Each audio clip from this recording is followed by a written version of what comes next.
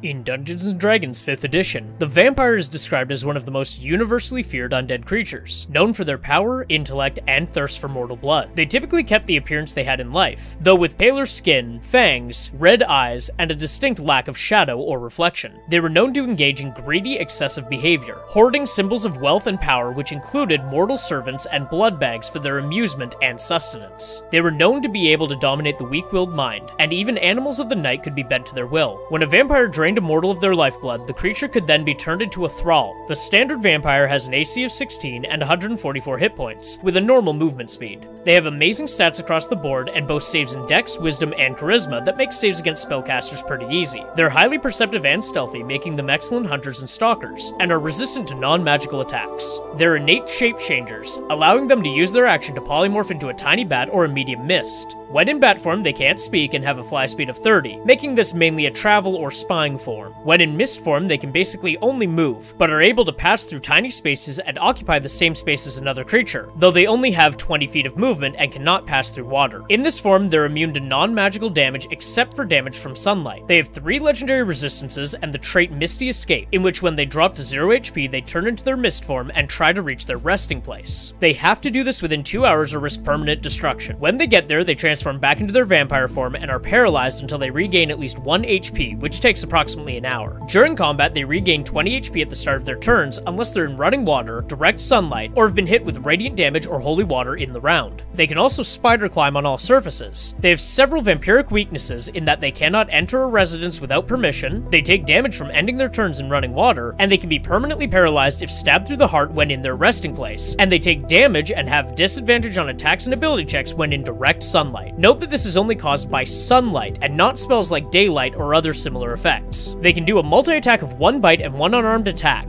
The unarmed attack deals nominal damage, or allows them to grapple a target on a hit foregoing that damage, and their bite can only be performed on a willing creature, an incapacitated creature, or a creature grappled by the vampire. This attack deals nominal piercing damage and 3 to 18 necrotic damage that lowers the target's HP maximum by the same amount. If a target dies from this and is then buried in the ground, they rise up as a vampire vampire spawn the next night. The vampire can choose instead to use its action to charm a target, prompting a DC 17 wisdom save. If failed, they treat the vampire as an ally, following its suggestions and orders, and becoming a willing bite victim. The vampire can also cast Children of the Night, a once per day ability that calls 2d4 swarms of bats or rats when indoors, or 2d6 wolves when outside. These creatures arrive in 1d4 rounds, and act as allies of the vampire until dead or dismissed. Vampires also have three legendary actions per round, out they can move or make an unarmed strike, or for two of the three actions, they can make one bite attack. Before getting into strategy, I would first point out that there's a certain level of trust needed to run this encounter well. Players that know about vampire weaknesses will be tempted to metagame, and this kind of ruins the encounter. I personally allow my players to make checks to see if their characters would know about certain weaknesses and traits of vampires. As a DM, I would use the vampire as a boss monster for mid-level players, alongside minions such as their thralls. In my personal opinion, the vampire can either be the bane of players or an underwhelming encounter. It relies heavily on saving throws being failed to do real damage or crowd control, and therefore against a party with high saves or very good rolls, the vampire can feel kind of underwhelming. To start combat, I would have the Thralls of the Vampire rush the players, especially the ranged spellcasters and healers. I would have the Vampire activate Children of the Night and make distance between itself and players. In its next turn, I would have it target the tank of the party with Charm. If successful, I would order this player to protect the vampire at all costs, and have it stay close to the vampire at all times, creating a ready-to-use blood bag for the vampire whenever it needs healing. The vampire should be using its movement and move legendary action to avoid melee players, as well as to close distance with ranged spellcasters.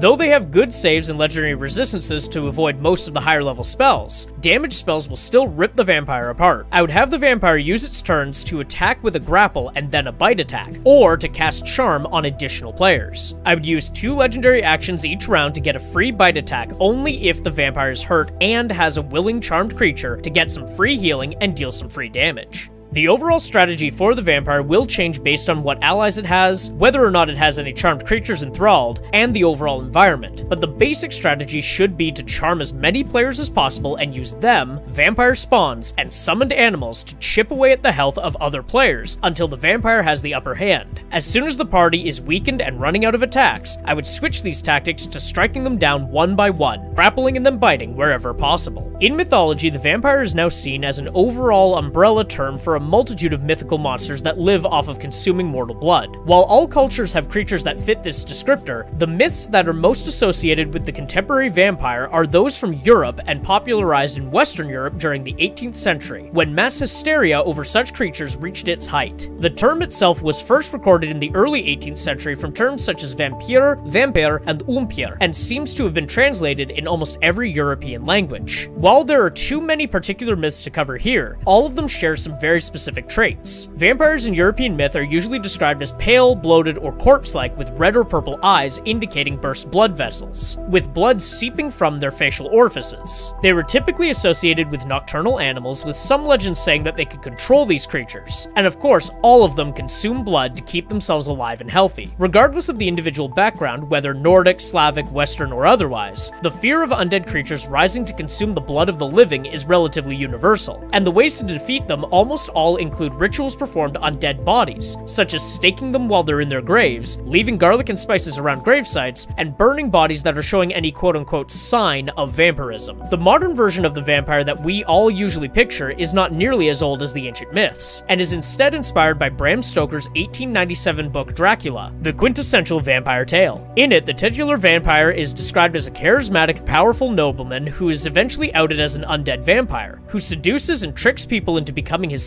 slaves, vampire brides, and blood bags. This charismatic, aristocratic man hiding its true form as a feral, blood-sucking animal became the standard for all vampires going forward, and the vampire has become a staple of gothic horror and fantasy. Comparing the monster to the myth, we find that D&D takes inspiration mostly from Bram Stoker's Dracula. The vampires in most myths are feral creatures, undead who attack indiscriminately and without intellect, but the Dracula vampire and the D&D vampire are charismatic warriors who beguile and charm their prey before unleashing their animal side upon them, seeking to slate their thirst and also expand their base of power.